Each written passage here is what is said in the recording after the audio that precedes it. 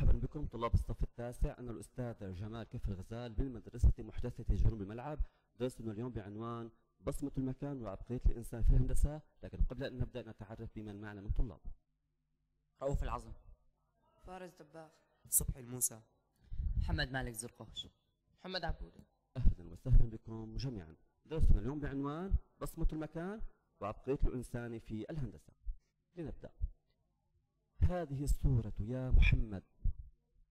ماذا تحكي لك انهيارات تربة على طريق عام أوتوستراد.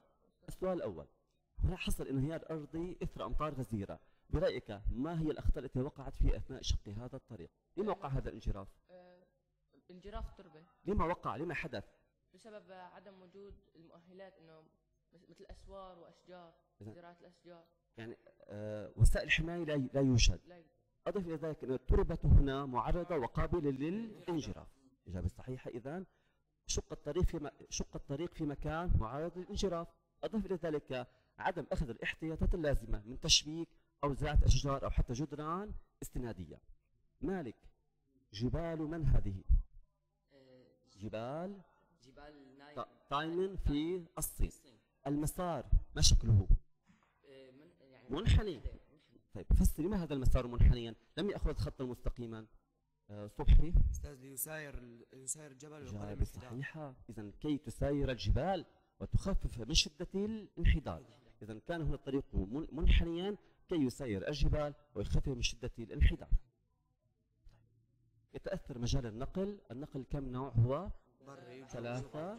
بري وبحري وجوي. يتأثر النقل بأنواعه الثلاث بعوامل طبيعية وبشرية. تتفاعل هذا العوامل الطبيعي والبشري مع بعضها لتحدد خصائصه وتوجه مساره المختلفة. لنبدأ بالنشاط الأول ألا وهو مجال النقل البري. أقرأ وأحل المعطيات الآتية ثم أجيب صبحي. خريطة من تمثل هذه؟ أستاذ خريطة روسيا. روسيا. إجابة صحيحة. من... تكلم عن المناخ يا محمد. المناخ كم مناخ في روسيا؟ ست آه، ست أقاليم. ستة أم خمس؟ إقليم القطبي وإقليم توندرا وإقليم التايجا وإقليم قاري وإقليم متوسطي وإقليم مداري. مداري. إذا خمس أقاليم مناخية في روسيا. هلا ال- الإقليم المتوسط والقاري نوعا ما والتايجا يغلب عليه الطابع المعتدل. أما القطب والتوندرا حتى ماذا نوعا ما شاذ في برودة أو في حتى في الإقليم الشمالي هناك مناخ بارد جدا أو ثلوج. آه، صبحي تكلم عن شبكات النقل الموجودة في روسيا. أين تتركز؟ أستاذ تتركز في الغرب. و. أستاذ تتك- تتركز في الغرب؟ وتقل في الشرق والشمال. تتركز في الغرب والجنوب وقلت في الشمال الشمال. والشرق. والشرق إجابة صحيحة. هذه نظرة عامة عن آه، شبكات النقل البري في روسيا. والآن ما شروط إنشاء طرق النقل البري يا رؤوف؟ ما شروطه؟ آه، أن أن تقام على أرض منبسطة أن. تحقق فائدة اقتصادية أن توفر عنصر الأمان. صحيحة إذا ثلاث شروط لإنشاء النقل البري أن يكون تكون الأرض منبسطة لها فائدة اقتصادية وأمن سواء كان أمن من عوامل طبيعية أو أمن حتى من النزاعات والحروب البشرية إن النقل بالسكك الحديدية هو ماذا يا يا صبحي؟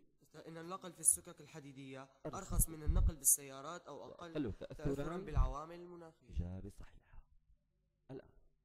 ودون ملاحظاتي حول أماكن توزع شبكات النقل البري في الأراضي الروسية وكثافتها. ذكر صبحي منذ قليل أن شبكات النقل البري توزعت أين؟ في شم... آه، في الغرب والجنوب. والجنوب. وقلت في في الشمال والشرق. وأين ازدادت كثافة ال- ال- المواصلات؟ آه، أستاذ في الش... في الغرب. ازداد كثافتها بالاتجاه نحو الغرب. إذا هناك تباين في توزع شبكات النقل البري. التباين ملحوظ مرئي بالعين. توزعت في الغرب والجنوب وقل توزعها أين؟ في الشمال والشرق وازدادت كثافة بالاتجاه نحو الغرب. السؤال الآخر يا فارس علل أو بين ما أسباب التباين في توزع شبكات النقل؟ لما حصل التباين؟ من الخريطة بوي من الخارطة لاحظ. لأن الكثافة تتوزع في الغرب. لما توزعت الكثافة لما توزعت كثافة النقل البري في الغرب؟ لماذا؟ لأن أراضيها منبسطة. منبسطة. أما أراضي الشرق فيها ماذا؟ فيها جبال إجابة صحيحة أضف إلى ذلك هنا المدن. أين ازدادت كثافة؟ في الغرب والجنوب وقلت أين؟ في الشرق والشمال. نضيف إلى ذلك أن المناخ في الغرب معتدل. أما في الوسط والشرق والشمال؟ آه، قطبي بارد هنا كتبنا كثيفة في الغرب والجنوب قليلة في الشمال والشرق. مناخ الغرب والجنوب معتدل. معتدل. أما مناخ الشرق والشمال. بارد جدا. تضاريس الغرب والجنوب. سهلية أما تضاريس الشرق والشمال. وعرة فيها جبال. تركز المدن أين كان؟ في الغرب. في الغرب والجنوب. إجابة صحيحة. وقل تركز المدن في الشمال والشرق. لهذا نلاحظ أن كثافة شبكات النقل البري كان جل تركيزها في الغرب الغرب والجنوب. والجنوب. أتتبع مسار سكة حديد سيبيريا وأسمي المراكز التي تصل بينها. هذا الخط هو سكة قطار سيبيريا أطول سكة قطار في العالم بطول يتجاوز 9000 كيلومتر. حتى رحلة طلاب رحلة من بطرسبورغ إلى فيلاد- فيلادلفوستيك تستغرق سبعة أيام. بين سبع وثمانية أيام. السؤال ما هو مساره؟ يا مالك مسار سيبيريا من أين انطلق سي... خط سيبيريا؟ بطرسبورغ. ثم انتقل إلى العاصمة الروسية موسكو. ثم إلى مدن الجنوب الروسي. وتفرع منه فرعين باتجاه الشمال. إجابة صحيحة. وانتهت الرحلة في فلاديفوستيك في الصين ونلحظ من الإش... من الخريطة أن سيبيريا تفرع باتجاه دول الجنوب. دول الحدودية ك يا يا رؤوف. آه، أستاذ الصين ومنغوليا وكذا وكازاخستان إجابة صحيحة. إذا الرحلة انطلقت من بطرسبورغ إلى العاصمة الروسية موسكو ثم إلى مدن الجنوب.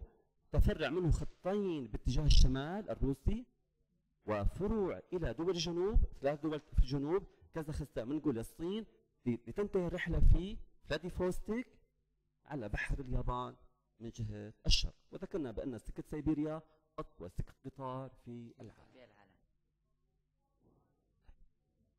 مد السؤال الآخر مدت روسيا هذا الخط بالرغم من تكلفته العالية ومروره في مناطق خالية من السكان. ما تفسير ذلك؟ لما يعني تكلفت بإنشائه رغم أنه يجري في منطقة خالية من السكان يا محمد. آه، لأن له فائدة اقتصادية. إجابة صحيحة بمعنى تسهيل التبادل التجاري بين غرب روسيا وشرقه. شرق. إجابة أخرى يا مالك. إنه بتجذب السكان. إعمار الداخل إعمار المناطق الخالية من السكان أيضا فارس. آه، لأنه أقل تكلفة من النقل نقل بالسيارات وأقل تاثرا بالعوامل المناخية. المناخية، إذا هذه الإجابة لأن النقل بالقطار أقل تكلفة من السيارات وأيضا أقل تاثرا بالعوامل المناخية. ثانيا لتحقيق الترابط الاجتماعي والاقتصادي على كامل الجغرافيا الروسية، والسبب الثالث وهو مهم جدا الا وهو إعمار الداخل الروسي. النشاط الثاني هو مجال النقل النهري. نهر ماذا هنا يا رؤوف؟ نهر ماذا؟ نهر كولو- كولورادو. كولورادو من الصورة أين ينبع نهر الكورا أين ينبع نهر الكولورادو يا مالك؟ من أين ينبع نهر الكولورادو؟ من جبال الروكي ويصب في خليج كاليفورنيا كاليفورنيا واحد من الخريطة بني غلبة اللون البني القرميدي الأحمر نعم. دلالة على ماذا؟ على ارتفاع الارتفاع لاحظوا المفتاح ارتفاع 2500 متر جبال عالي عالي جدا انظر إلى صورة النهر الحقيقية أو ب- بالكاميرا. مجراه ماذا؟ ضيق. ضيق. وعر جدا. خطر جدا. هل هذا. يجري النهر في أماكن خصبه أماكن غنية بخاماتها أم فقير؟ فقير يجري في فقيرة اقتصادية. اقتصاديا على عكس من ذلك نتحدث عن. نهر سانت لورنس يا فارس. نهر سانت لورنس يج... آه، ينبع من محيط أونتاريو. ويصب في المحيط الأطلسي. من الخريطة غلبة اللون ماذا؟ الأخضر. دلالة على الاستواء على الانبساط. إجابة صحيحة. وهو النهر ماذا؟ واسع أم ضيق؟ واسع. المجرى حتى أنه يعني تلحظ أنها مدينة ميناء حي أو نهر حي فيه هناك نشاط بشري. من الخريطة هنا طلاب نلاحظ أن هناك مناجم للزنك منتشرة في هذا المكان أيضا. حديد. مصانع تركز المدن بمعنى أن النهر يجري في أماكن اقتصادية غنية وهناك تركز للنشاط البشري بعكس نهر كولورادو الآن ما شروط إنشاء طرق النقل النهري يا رؤوف؟ آه، مرور النهر في مناطق آه، قليلة الانحدار أن يكون قليل الانحدار. واسع المجرى خلو المجرى النهري من, من العوائق. كالجليد. وله توفر عنصر الأمان وله وأن. يحقق فائدة اقتصادية. إجابة صحيح نوعا ما يماثل شروط إنشاء طرق النقل البري يماثلها جدا. الملاحظة الأخرى أن النقل النهري هو أرخص من النقل نقل السكك الحديدية النقل النهري هو أرخص أنواع النقل على الإطلاق الآن يعد تعليل جدا هام يعد نهر سانت لورنس أعظم طريق للنقل النهري في أمريكا الشمالية. في حين أنه لا يستعمل نهر الكولورادو في الملاحة النهرية. لما؟ لأنه ضيق وواعر و لأن نهر سانت لورنس واسع المجرى. قليل الانحدار. فائدة اقتصادية. اقتصاد طبعا الفائدة الإقتصادية طلاب هي في نقل الخامات أو حتى منتجات المصانع المتواجدة في تلك الأماكن. أما نهر الكولورادو يا فارس ضيق المجرى وانحداره شديد. وغير أمر ذلك ليس له أي أهمية في الملاحة النهرية. شتاء يستعمل تستعمل السكك الحديدية بدلا من نهر سانت لورنس يعني يتم التوقف على في النقل النهري ويتحول الجميع إلى النقل بالقطارات. لما يا صبحي؟ بسبب تأثير العوامل المناخية فيتجمد النهر. إجابة صحيحة إذا بسبب تجمد النهر شتاء كونه يقع في عروضين شمالية 45 درجة عرض شمال خط الاستواء. طيب عندما تحول إلى النقل بسكة الحديد ماذا يحل بسعر المنتج الذي ينقل بهذه الطريقة؟ ترتفع تكلفته. حكما لأن نقل بسكة القطار أعلى من نقل بالسيارة إذا النتيجة أن سعر الخام الحديد سوف يرتفع. ولماذا؟ لأن النقل بالسكة بالسكك الحديدية أعلى تكلفة من النقل نقل النهري. النهري. النشاط الثالث هو عنوانه تحدي الصعوبات. اقرأها يا صبحي. تمكن تمكن الإنسان بفضل الازدهار الحضاري وتقدم التكنولوجي من تطويع البيئة لصالحه والتغلب على الكثير من العقبات الطبيعية التي كانت تحول دون امتداد شبكات الطرق المختلفة وتحسين خصائصها ورفع كفاءتها. لنتبين لنتبين تأثير التقدم كفى. التكنولوجي في كفى كفى إذا الإنسان بفضل ازدهار الحضاري واستخدامه التكنولوجيا طوع البيئة لصالحه طوع البيئة لصالحه. وأمكنه من ذلك من التغلب على كثير من العقبات الطبيعية التي كانت تحول دون امتداد شبكات الطرق المختلفة وتحسين خصائصها ورفع كفاءتها. والمثال الأكبر ألا وهو أعجوبة نفق بحر المانش التي تصل بين يا محمد. فرنسا وبريطانيا. وهو نفق أقيم تحت بحر المانش تمام؟ طول طول النفق كم 50 كي- كيلو متر ونصف بين بين الجانبين الفرنسي والبريطاني. الرحلة تستغرق 35 دقيقة. 35 دقيقة. لاحظوا على الإعجاز الهندسي هنا في البناء. قطار شحن قطار الركاب تهوئة آه، ممر في حالة الطوارئ. يعني مشروع جدا هام وجدا ممتاز. المثال الآخر يتواجد أطول جسر معلق. أين؟ في الصين. الصين. جسر معلق في الهواء بين الجبال. لاحظوا ما أطوله ما أضخمه. هناك السيارة الطائرة. أيضا جسر متحرك في روسيا. يغلق متى؟ عند مرور السيارات ويفتح لإمرار السفن. الصحيحة. وهذا طريق الهوائية. وفي ويستعمل أيضا لإنارته. ليلا وإنارة. إشارات المرور. وبالإمكان استخدامه لتزويد السيارات الكهربائية بالطاقة اللازمة. وهنا حافلة برمائية بإمكانها السير على الطرقات وأيضا في الأنهار. وأخيرا قطار يسير بالطاقة الكهربائية. بمعنى قطار صديق البيئة قطار صديق للبيئة وحتى هذا الطريق هو طريق صديق للبيئة.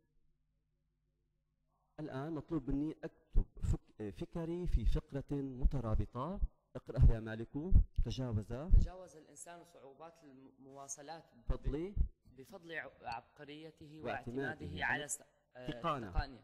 وتمكن من تطوير وتمكن من تطويع البيئة. آه، بما يخدم مصلحته مختصرا. مختصرا المسافات والوقت والجهد والتكلفة. إذا الإنسان بفكره طوع البيئة لصالحه تجاوز الصعوبات وحقق أن المسافة قلت والوقت والجهد والتكلفة.